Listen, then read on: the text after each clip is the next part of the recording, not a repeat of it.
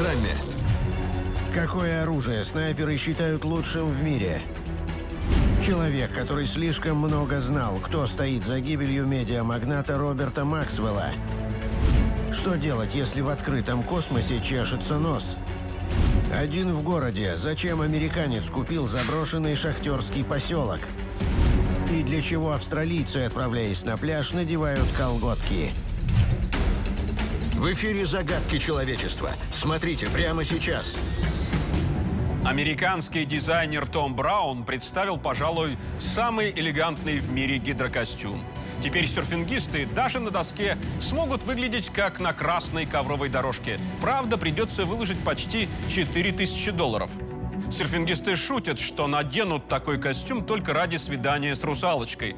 Впрочем, есть на планете места, где изобретение Брауна точно оценят. Взять хотя бы пляжи австралийского штата Квинсленд. Они считаются не только самыми красивыми, но и самыми опасными на планете. Почему в местные воды нельзя заходить без одежды? И что за жуткий монстр обитает на северном побережье Австралии?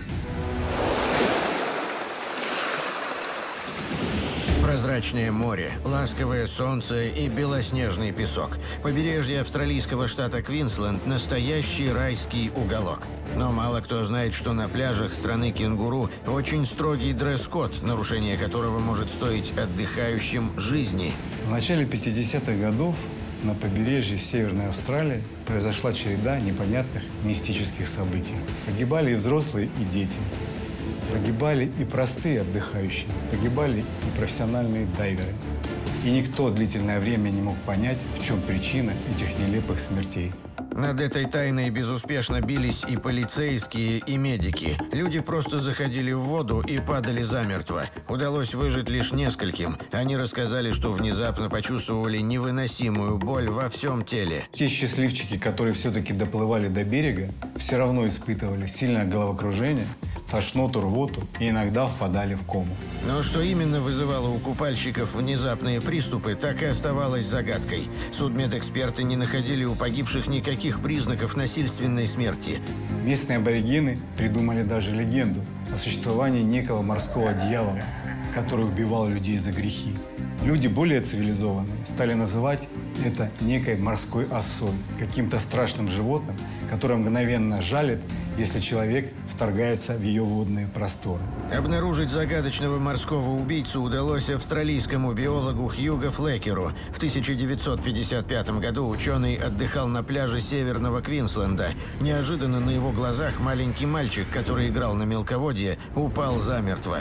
Флекер бросился к ребенку, но было поздно. Эта трагедия потрясла Флекера. Ученый решил во что бы то ни стало докопаться до истины. Чтобы вычислить невидимого убийцу, он решил изучить прибрежных морских обитателей и взять пробы воды. Из э, воды, так сказать, из сборов различных организмов, которые там были обнаружены, было обнаружено несколько видов э, неизвестных на тот момент э, видов медуз. Оказалось, что Флекер обнаружил самую ядовитую медузу на планете. Биолог назвал ее «морской осой», но благодаря своей смертоносной силе очень скоро она получила новое прозвище – «рука смерти». Тело медузы почти полностью прозрачно. Именно поэтому ее так долго не могли обнаружить. Яда всего одной особи достаточно, чтобы за три минуты убить 60 человек. Увеличивается э, проницаемость клеточных мембран, э, которые начинают в кровь, так сказать, выбрасывать большое количество калия. И, соответственно, повышение концентрации калия приводит, собственно говоря, к нарушению работы сердечно-сосудистой системы, в том числе сердца. Да, так сказать, может от- отказать сердце. Во время своего расследования Флекер изучил пробы воды из акватории Квинсленда под микроскопом и обнаружил еще одного крайне опасного морского обитателя.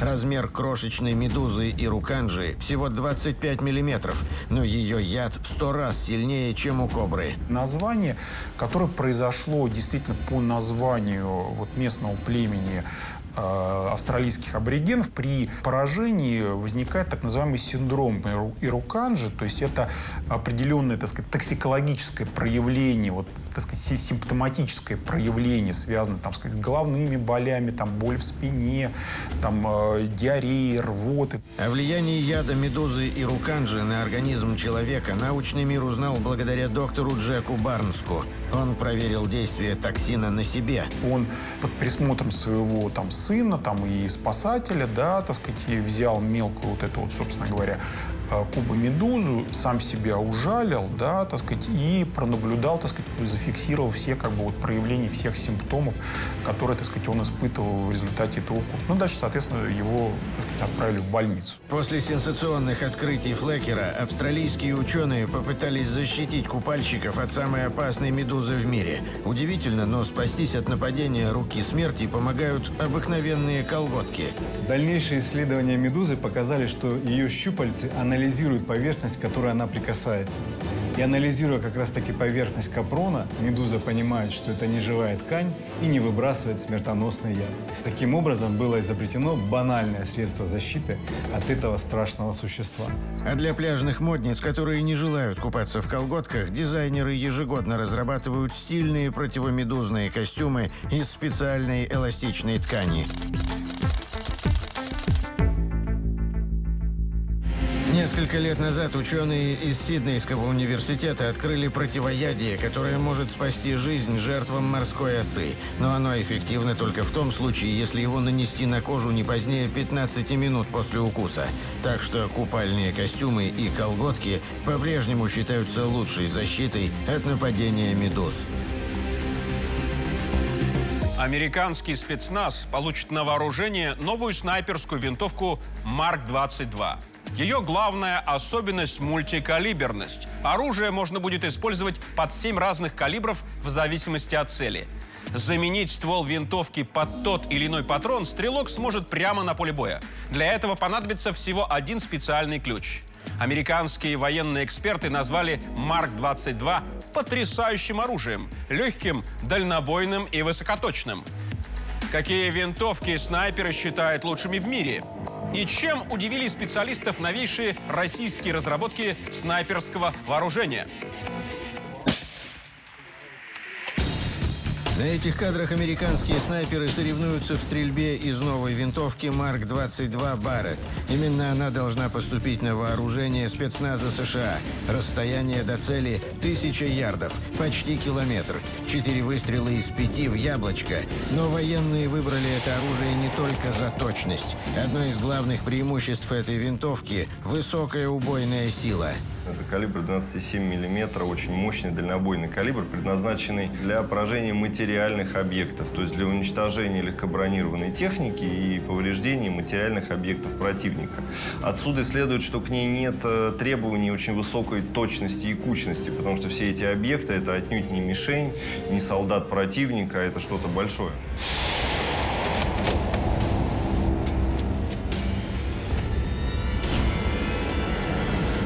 Километровой дистанции пуля, выпущенная из этой винтовки, насквозь прошивает стальной лист толщиной полтора сантиметра. Американские военные утверждают, что из этого оружия можно даже сбить вертолет. По словам бывшего спецназовца Карла Эриксона, отдача при выстреле минимальна, благодаря плавающему стволу и амортизационным пружинам.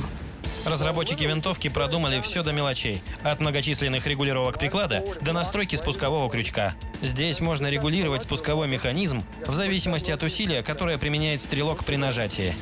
Винтовка Марк-22 модульная. Снайпер может выбрать нужный калибр в зависимости от цели. Достаточно просто поменять ствол. Вся процедура занимает пару минут. Но у такой сборной конструкции есть и недостатки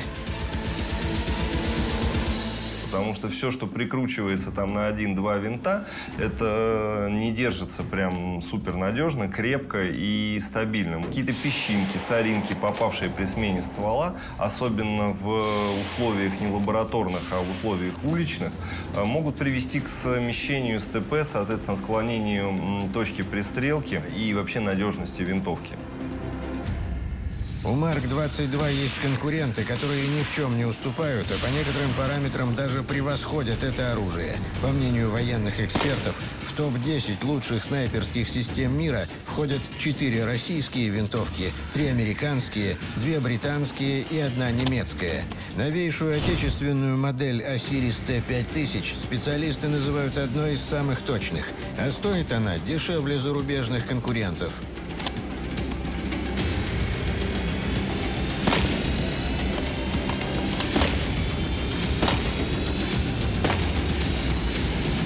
Если оружие обеспечивает кучность там, менее угловой минуты, как принято считать в мире, это значит снайперское оружие. Наше оружие, к примеру, обеспечивает э, там, полугловые минуты и меньше.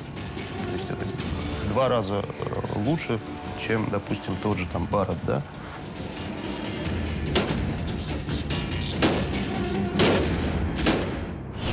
Этих кадрах американский снайпер выцеливает позиции террористов на границе Афганистана и Пакистана. Расстояние до цели более километра.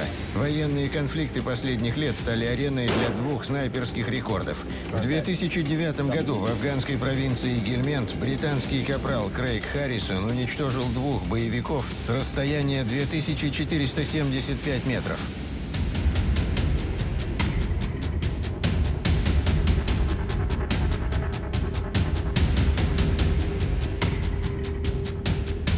Рекорд британца продержался 8 лет. Его побил канадский снайпер, который в Ираке поразил боевика с дистанции 3540 метров. То, что касается рекордов, э, нельзя к этому относиться как к стабильно предсказуемой дистанции, на которую нормально работает эта оружейная система и стрелок. Чаще всего, в том числе и в военных э, условиях, э, рекордные выстрелы – это выстрелы случайные, которые сами стрелки подтверждают, могли получиться, а могли не получиться. Абсолютный снайперский рекорд на стрельбище установил Андрей Рябинский. Россиянин поразил цель с расстояния 4210 метров. До мишени пуля летела 13 секунд. Чтобы попасть с такой дистанции, недостаточно просто хорошей винтовки с мощной оптикой. Ведь даже легкий боковой ветер может изменить траекторию пули. Нужна целая команда корректировщиков и масса дополнительного оборудования. Я, ну, я вообще наблюдаю, что последние лет 5-7 э, идет очень сильное внедрение электроники вот в эту стрельбу. Есть компьютер, который дальномер передает по Bluetooth данные о расстоянии, о направлении стрельбы. Метеостанция передает информацию о давлении, влажности, направлении и силе ветра. Калькулятор это все обсчитывает, позволяет вносить поправку. Рябинский установил свой рекорд с отечественной винтовкой «Сумрак». Ее разработал конструктор Владислав Лобаев.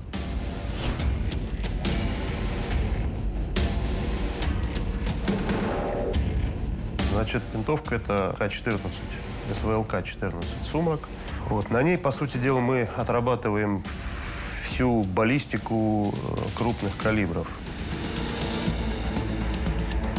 Специально для рекордного выстрела винтовку модернизировали. После достижения Рябинского авторитетное британское издание назвало «Сумрак» оружием, меняющим правила игры. Хотя сами производители считают, что в этой винтовке нет ничего сверхъестественного. Собственно, по винтовке, по самой здесь классическая винтовка. Никаких э, каких-то специальных там примочек для ней не, не, нет, за исключением того, что коробка выполнена э, максимально жесткой, она однозарядная, здесь нет магазина. Вот, э, ну, это в угоду как бы жесткости э, всего, всего изделия, скажем так. Сегодня конструкторы «Сумрака» работают над снайперской системой нового поколения. Винтовка DXL-5 будет поражать цель на расстоянии до 7 километров. Для этого пуля должна лететь с гиперзвуковой скоростью. Это винтовки, которые стреляют пулей на скорости в 5 и более раз превышающей скорость звука. Если перевести в простые цифры, 1600-1700 метров в секунду. На данный момент винтовки конструктивно, ввиду своих особенностей, не могут стрелять э, пулей на такой скорости. То есть это какой-то принципиально другой принцип патрона, другой принцип оружия. Для новой винтовки создадут специальные боеприпасы. Их технические характеристики разработчики пока держат в секрете. Известно лишь, что гиперзвуковые патроны больше по размеру, чем обычные. И начинять их будут не порохом, а детонирующими веществами особого состава. России начинается подготовка к госиспытаниям еще одного снайперского комплекса «Уголек». В винтовке ни одной импортной детали. Все комплектующие отечественного производства. Для этой стрелковой системы разработают новый порох, высокоточные прицелы, а также патроны под натовский калибр. Далее в программе. Как испытывают на прочность мобильные телефоны, бронежилеты и ракетные двигатели. Что кроме пороха кавказские воины хранили в нагрудных нашивках черкесские. Все самое интересное в загадках человечества через несколько минут только на РЕН-ТВ.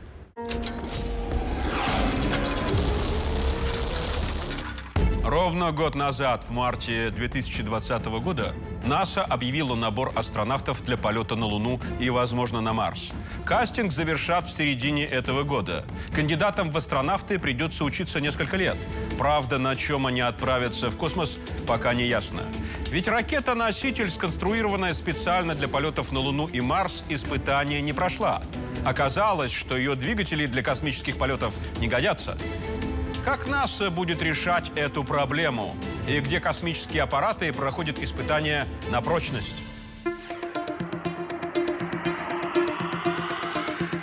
Испытания сверхтяжелой ракеты-носителя НАСА окончились неудачей. Двигатели должны были проработать не менее 8 минут. Именно столько требуется для запуска космического корабля. Но во время тестов в центре имени Джона Стенниса все четыре агрегата остановились через минуту. Сработала система аварийного отключения. Причины, по которым отключились двигатели, пока неизвестны. Инженерам предстоит проанализировать все собранные во время испытаний данные. Не исключено, что полет на Луну придется вновь отложить. Американцы планировали запустить ракету еще в 2016 году, но сроки неоднократно переносили. Самая дорогая часть любой э, ракеты – это двигатель. В ракетоносителях стоимость двигательных установок суммарно это 50-60% от стоимости всей ракеты. Поэтому здесь э, не должно быть никаких послаблений. Здесь самые жесткие, самые дорогие испытания, самые многократные. На специальных стендах инженеры проверяют устойчивость аппаратуры к воздействию космической радиации, вакуума, вибраций, резких перепадов температур. Особое внимание уделяют тестам скафандров, которые предназначены для работы в открытом космосе. Одна из самых удачных конструкций у скафандра «Орлан». Обратите внимание, сбоку есть специальный рычаг. Дело в том, что такие скафандры, в чем их особое удобство? Они не надеваются, космонавт в них входит. То есть нажимается рычаг скафандра, открывается наполовину, космонавт в него входит и закрывает рычаг. «Орлан» разработали еще в Советском Союзе. Скафандр полностью автономный, с системой климат-контроля. Инженеры продумали все до мелочей. Например, устройство под названием «Вальсальва» позволяет космонавтам выравнивать давление в ушах. И не только. Неофициальное название вальсальва – это чесалка для носа. Почему? Когда у нас с вами чешется нос, на самом деле мозг от этого отвлечься ну, вообще не может. Мы этого не замечаем, потому что мы всегда свой нос чешем ну хоть как. Космонавты опять же руку не достанут. И чтобы во время многочасового выхода в открытый космос космонавт не мучился, он чешет нос, а вальсальва. Во время испытаний скафандры подвергают запредельным нагрузкам. Особое внимание уделяют тестам внешней оболочки космического костюма. Надувают газом, чтобы проверить, есть какие-то дырки в нем или нет, да, и не лопнет ли ткань, тоже проверяют ее на прочность. Кидают в воду, тоже, чтобы проверить, есть ли какие-то отверстия в скафандре. На этих кадрах российские видеоблогеры испытывают на прочность мобильные телефоны. Авторы популярного канала отправили под гидравлический пресс два культовых аппарата начала нулевых годов. А этот китайский рыболов решил испытать на прочность свои снасти. Удочки оказались на редкость крепкими. Похожим тестам подвергают снасти и сами производители перед запуском продукции на конвейер. Еще один распространенный метод проверки на прочность – так называемый краш-тест с метра. Так обычно испытывают электронику, поскольку при неосторожном обращении гаджеты чаще всего падают именно с этой высоты. Берется изделие, ну, как какой-то, например, компьютер или какая-то бытовая техника, и э, сбрасывается с высоты метр, э, и смотрится, какие разрушения при этом происходят. А так проходят испытания бронежилетов. Снаряжение бойцов спецназа тестируют прямо на себе. Но э, до того, как э, бронежилет будет надет на бойца, он проходит множественные испытания стендовые, такие как отдельно на прочность, на устойчивость к различным агрессивным средам, на устойчивость к пулевому проникновению на стенде. С давних времен люди подвергали испытаниям на прочность не только технику, но и самих себя. В Эфиопии, например, в некоторых племенах до сих пор проводят обряд посвящения в мужчины. Чтобы юношу признали взрослым, ему нужно пробежать по спинам нескольких быков и не упасть. С первого раза получается не у всех, зато тот, кто справился, может заводить семью.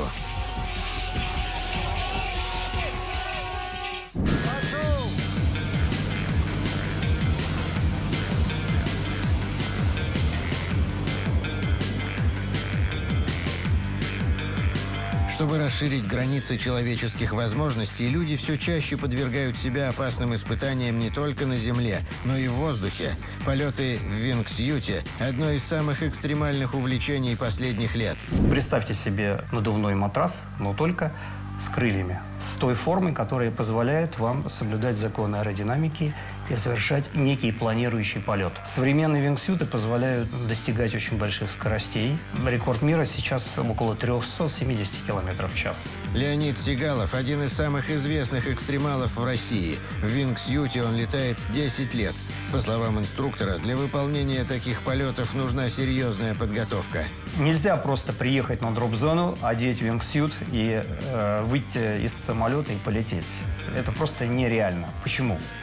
Для того, чтобы на, начать полеты в вингсуте, необходимо иметь за плечами 200 скайдайверских прыжков. Сегодня возможностей проверить себя на высоте становится все больше. Недавно экстремалы на реактивных крыльях совершили серию впечатляющих полетов рядом с крупнейшим коммерческим авиалайнером в мире. Впрочем, некоторые предпочитают забираться ввысь без всяких приспособлений. Это руферы, покорители крыш высотных зданий. И мы, как правило, смотрим на руферов, как на некоторые, я не знаю, то ли это молодость бурлит в ребятах. Вещь весьма опасная. И главное, никакой страховки у людей нет. Для меня остается загадкой, что движет этими молодыми ребятами и девчонками которые лезут на крыши и пытаются, не знаю, что доказывают ли они что-то либо себе, либо всему другому миру. Неверная оценка своих возможностей нередко приводит к печальному результату. Так, известный в Китае руфер У Юнин погиб, сорвавшись с крыши небоскреба. Парашютист Александр Полли стал знаменитым после скоростного полета через небольшую дыру в скале. Но спустя пару лет Полли разбился во французских Альпах. Он разбился при столкновении с деревом, э, и в этом полете он совершал бочки и штопоры, коркскрю, так называемый элемент. Вы представляете, то есть в небе-то это достаточно сложно, то есть не каждый вингсют пилот это может но чужие неудачи не останавливают все новых и новых смельчаков. В декабре 2020 года французский нейробиолог Ромен Ван Дендорп побил мировой рекорд пребывания во льду. В стеклянной емкости, засыпанной кубиками льда, он простоял 2 часа 35 минут и 43 секунды. Это почти на 43 минуты больше предыдущего достижения, установленного китайцем Цзинь Сунчао. Далее в программе. Один в городе. Зачем американец купил заброшенный шахтерский поселок? Почему Николай II в самые важные моменты жизни надевал черкеску? И как медиамагнат Роберт Максвелл работал на спецслужбы сразу пяти стран? Все самое интересное через несколько минут только на РЕН-ТВ.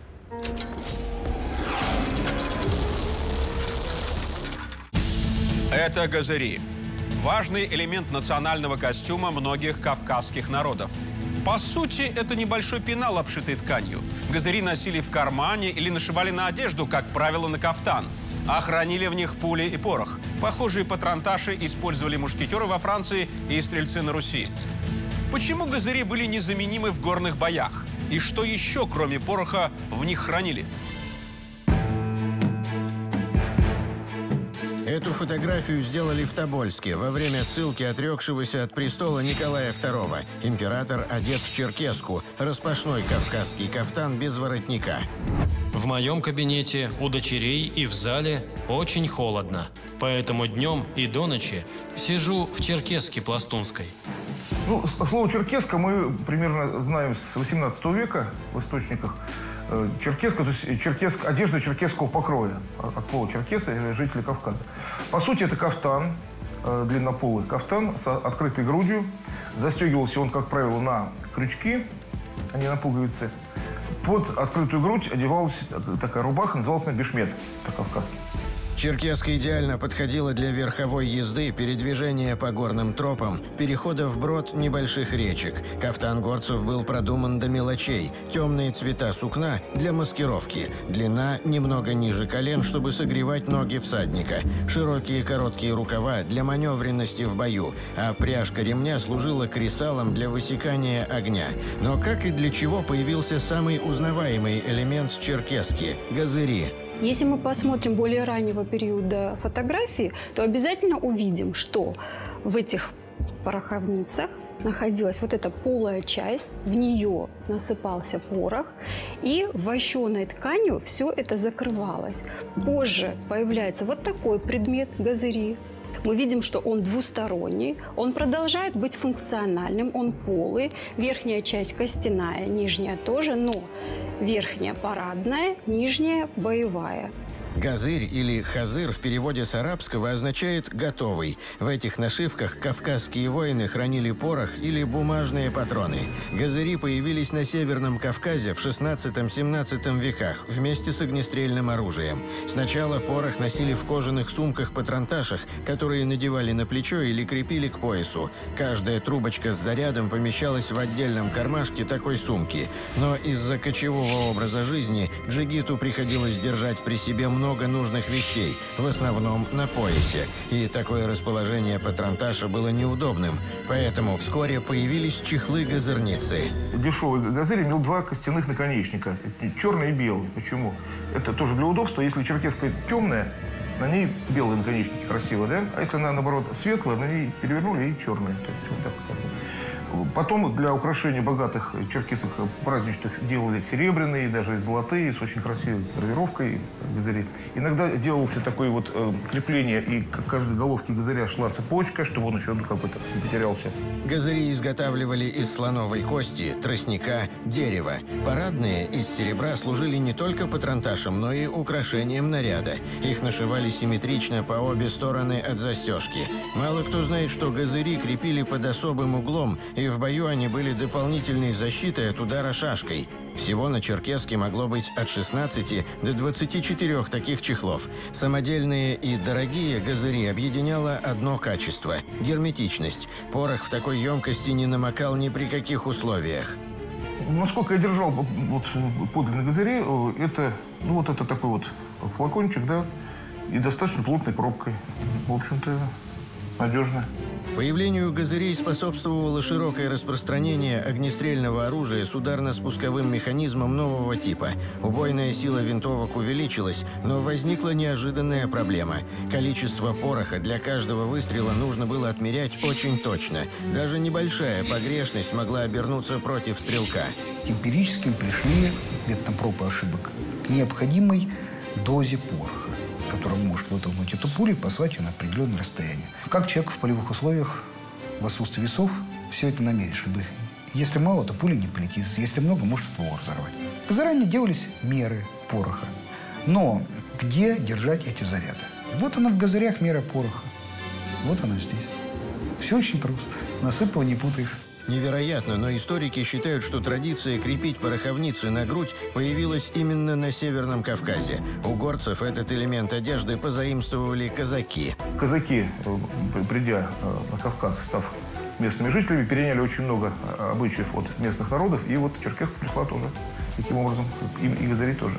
Казачью форму с новым элементом официально утвердили на государственном уровне. По свидетельствам современников, последнему российскому императору очень нравилось щеголять в черкеске. Правда, газыри на костюме августейшей особы носили чисто декоративный характер. И даже отречение э, от престола в вагоне Николай II подписал, будучи в серой черкеске полевой. Это не случайно.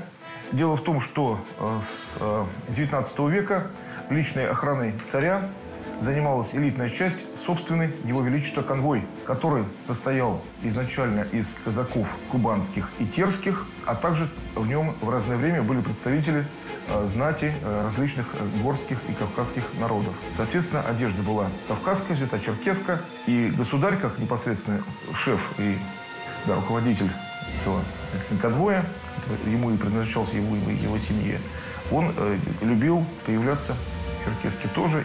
Бывалые бойцы хранили в газырях не только порох. В крайних ячейках держали сухие щепки для растопки костра, а в одном из газырей лежал запас еды на несколько дней. Кавказские воины задолго до появления концентрированных бульонных кубиков научились готовить смесь из перетертого и прессованного пшена, мяса и специй. За несколько минут из нее можно было получить вкусный и питательный мясной суп. Американец Брент Андервуд купил заброшенный шахтерский город и прожил там в одиночестве полгода. За это время мужчина успел восстановить часть построек и возвращаться к цивилизации уже не хочет. Отшельник надеется превратить город-призрак в туристическую достопримечательность и возместить хотя бы часть своих расходов. Брент потратил все сбережения, почти полтора миллиона долларов.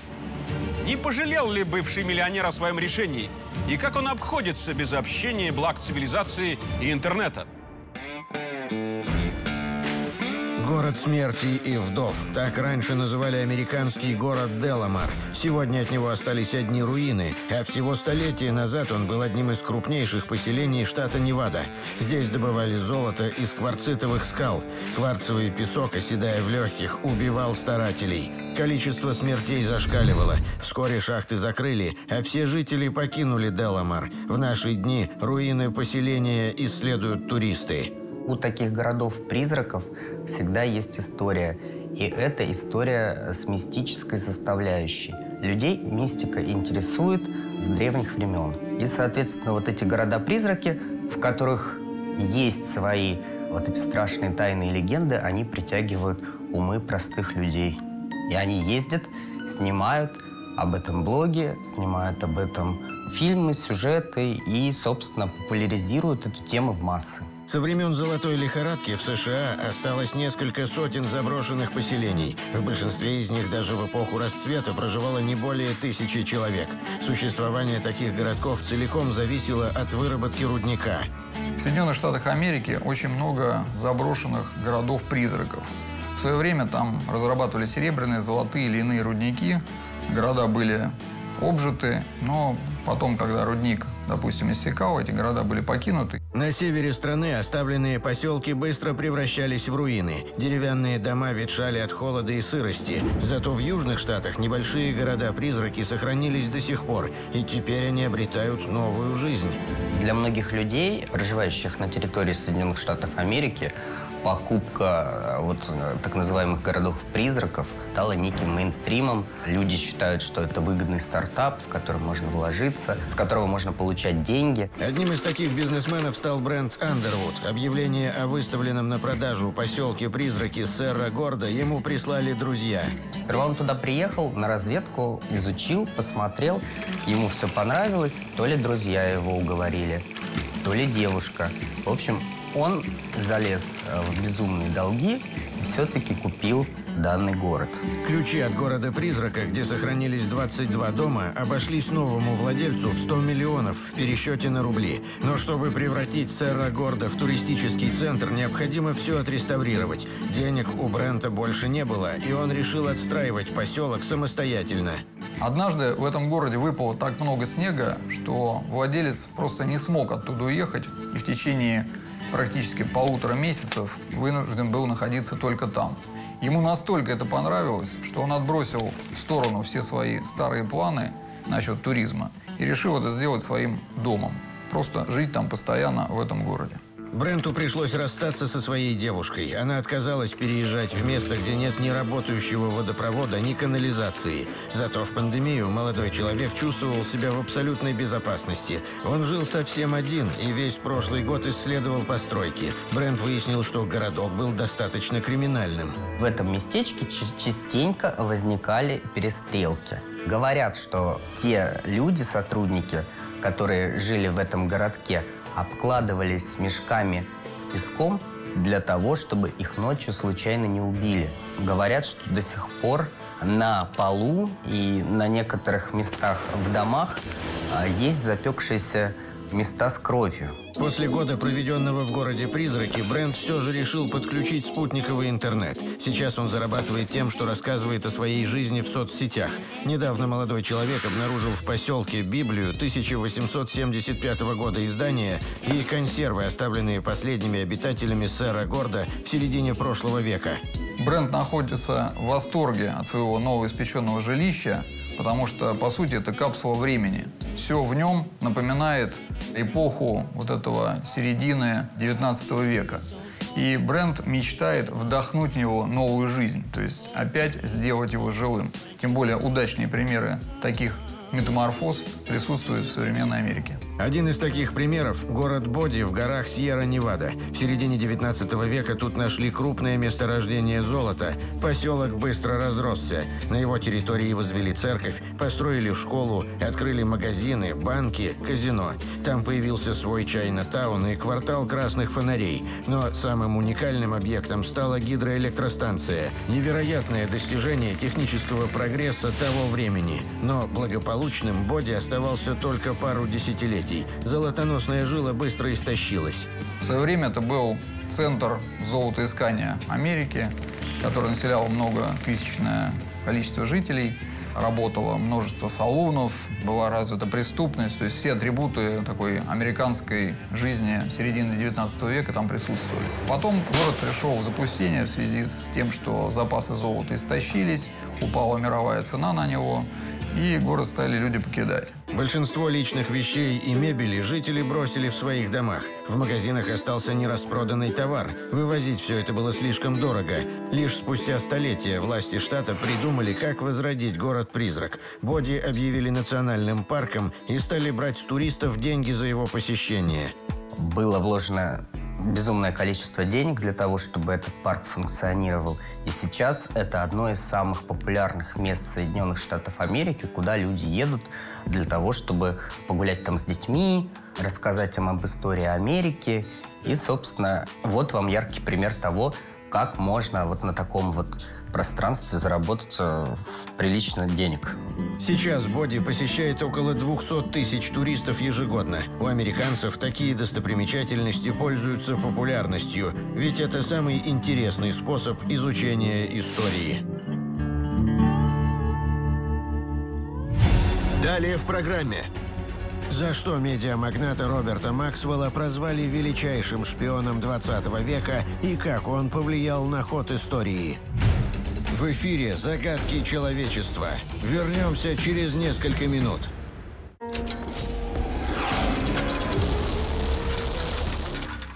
В США арестовали звезду светского Нью-Йорка Гелейн Максвелл, бывшую подругу скандально известного финансиста Джеффри Эпштейна. В 2019 году его обвинили в сексуальной эксплуатации несовершеннолетних. Он покончил с собой в тюрьме. По версии следствия, Максвелл была пособницей Эпштейна. Она подыскивала для него девушек младше 18 лет. Гелейн – дочь медиамагната Роберта Максвелла, которому принадлежало одно из старейших издательств в мире. У него была репутация кутила и сумасброда. Он дружил с Брежневым и другими мировыми лидерами. Но самое интересное – до сих пор ходят слухи, что Максвелл был одним из величайших шпионов 20 века, причем сразу пяти стран. Правда ли это? И если да, то как Роберт Максвелл повлиял на ход истории? Максвелл умер в море. Загадочная смерть медиамагната. Тело издателя нашли у побережья Канарских островов. С такими заголовками вышли крупнейшие мировые газеты 5 ноября 1991 года. Новость о гибели Роберта Максвелла стала сенсацией. 68-летний владелец телеканалов, радиостанций и газет погиб при загадочных обстоятельствах. То он отдыхал э, на своей яхте где-то у Канар. И Ночью там вышел вроде подышать свежим воздухом и пропал. На утро его нашли где-то тело там. Сначала считали, что это сердечный приступ, хотя он был здоровый человек, очень на сердце не жаловался. Потом там нашли спасатели, когда внимательнее, кровоподтеки. Ну и пошла версия, что его убили. После гибели Максвелла начали всплывать любопытные подробности его биографии. Оказалось, что он вовсе не Роберт и не Максвелл. По словам историков спецслужб, настоящее имя медиамагната – Хаим Хох. В начале 90-х обозреватель крупного советского издания Евгений Черных часто писал статьи о жизни загадочного медиамагната. Он родился на территории нынешней Украины. Тогда это была Чехословакия, Подкарпатская Русь. Он был еврей, подпольщик. Там имен у него было не счесть, сколько было на самом деле. И Роберт Максвелл – это уже его последний официальный.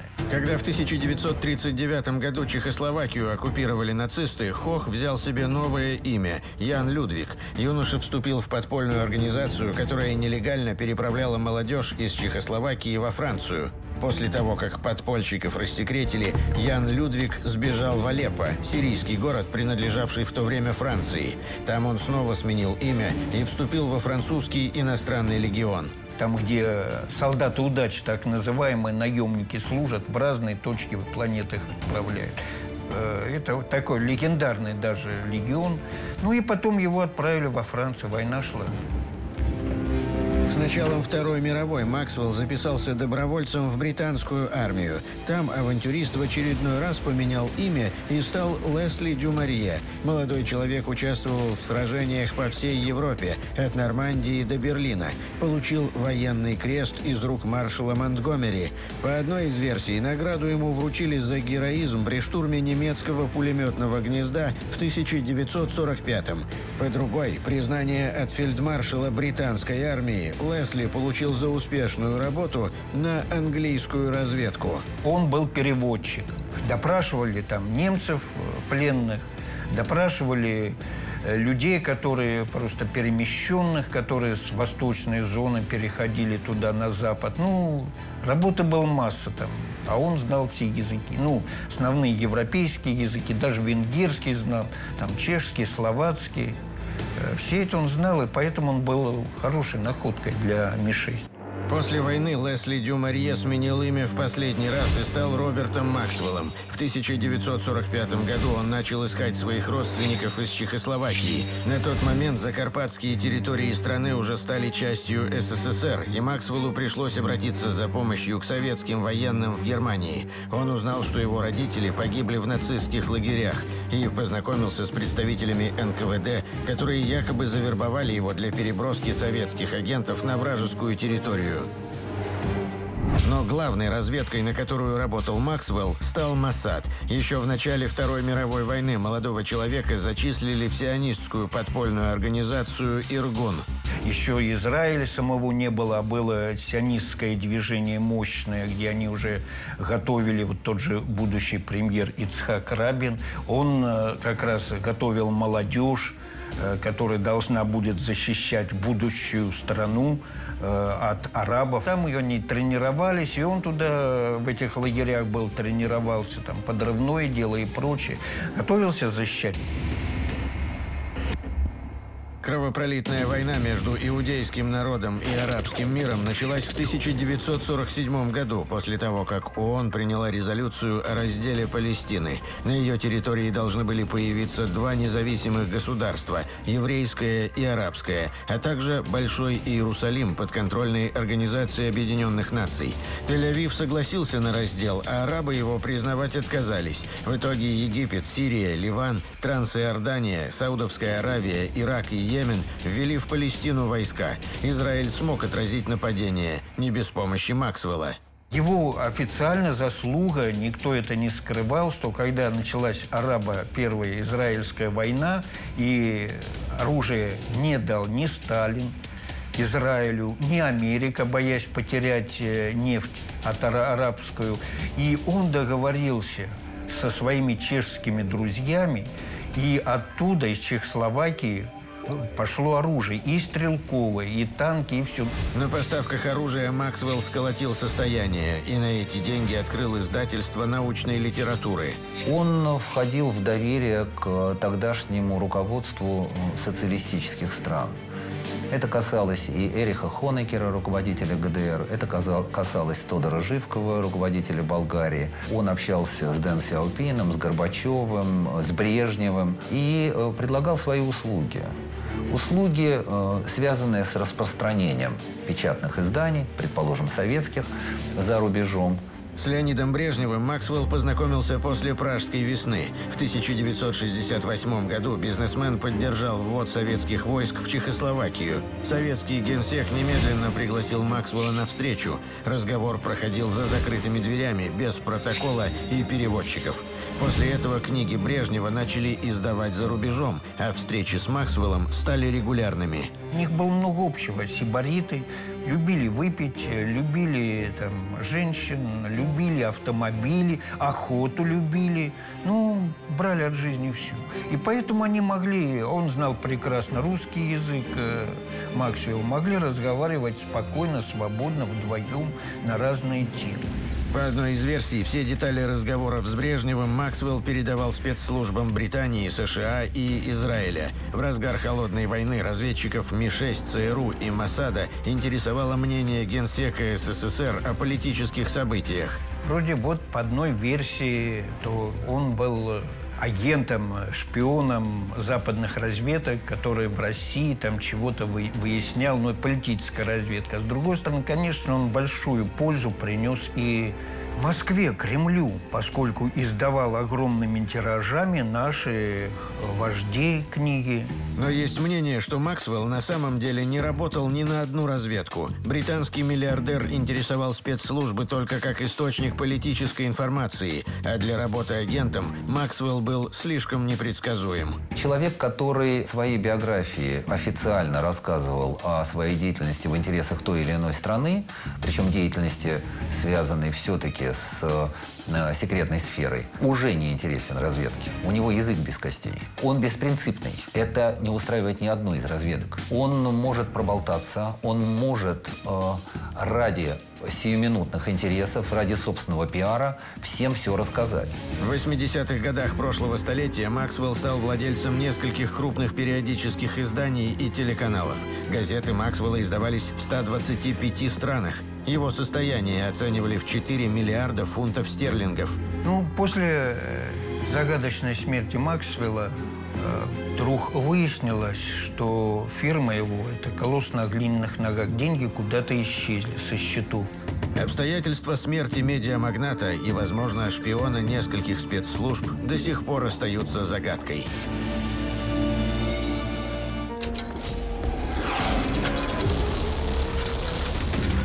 Русский писатель Лев Толстой любил повторять. Важно не количество знаний, а качество их. Можно знать очень многое, не зная самого нужного. Это были загадки человечества. Я Олег Шишкин. До встречи.